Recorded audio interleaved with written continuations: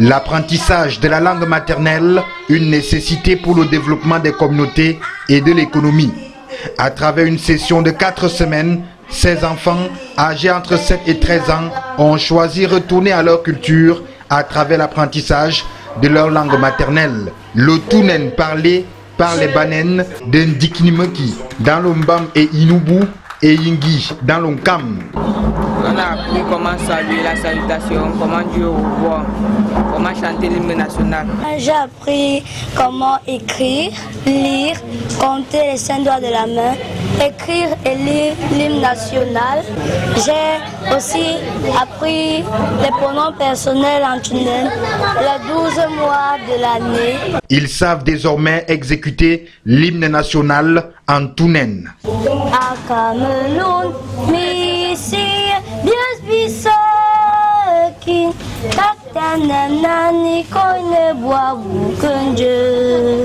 Une initiative qui vise à contribuer à la promotion du multiculturalisme. Ce sont des journées où les, enfants peuvent apprendre leur langue maternelle. Vous savez, aujourd'hui, beaucoup d'enfants sont déracinés de leur culture.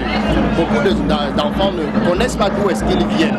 Et des festivals ou des, des séminaires comme ceux-ci, des ateliers comme ceux-ci permettent aux enfants de retrouver leurs racines, déjà d'apprendre la langue maternelle. Le Tounen, la langue maternelle du Goliador Samuel Eto'o, c'est meurt, il faut la sauver.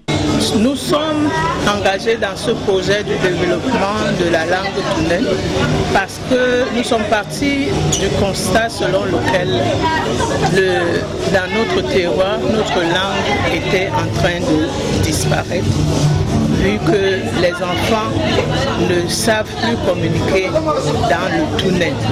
Ils ne parlent qu'en français.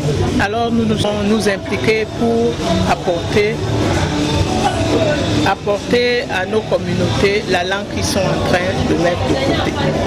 Nous avons donc commencé ce projet depuis l'année dernière.